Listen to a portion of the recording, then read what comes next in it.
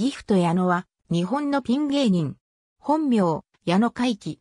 アメリカメンフィス生まれ、岐阜県アンパチ郡アンパチ町出身。SMA ニートプロジェクト所属。血液型 O 型。身長177センチメートル。東京アナウンス学院卒業。妻は歌手で元グラビアアイドルの長作愛理。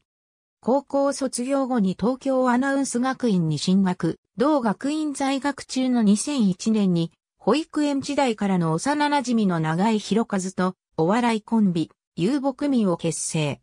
後にコンビ名をギフトに改名。ギフトというコンビ名は笑いという名の贈り物という意味と岐阜出身だから岐阜人という意味を掛け合わせて名付けた。渡辺エンターテインメントを経て2005年ソニーミュージックアーティストに移籍。2007年7月、ギフト解散。解散して1ヶ月間は何もせずに江ノ島の海に行っていた。同年9月よりピン芸人として活動。レミーの美味しいレストランを見て、劇中の遊部、A ギフトという会話から、ピンの芸名、ギフト矢野と決めた。ポップさを加味したく、芸名に、を入れた。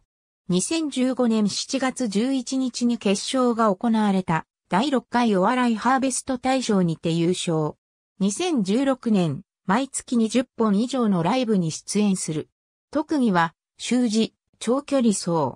肌がやや黒く、アルバイト先で自分が芸人であることを隠していたため、肌の色から AV 男優ではという噂が立ったこともある。持ちネタは主にコント。一人に役を演じることが多い。三文字落ち男、裏切り、ジョニー、男性キャラと女性キャラを演じ分ける、プロポーズの言い回し等の持ちネタがある。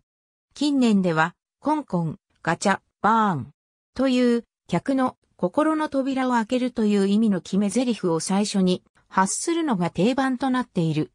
2020年10月1日、歌手で元グラビアアイドルの長作愛理との入籍を長作が自らのブログにて発表した。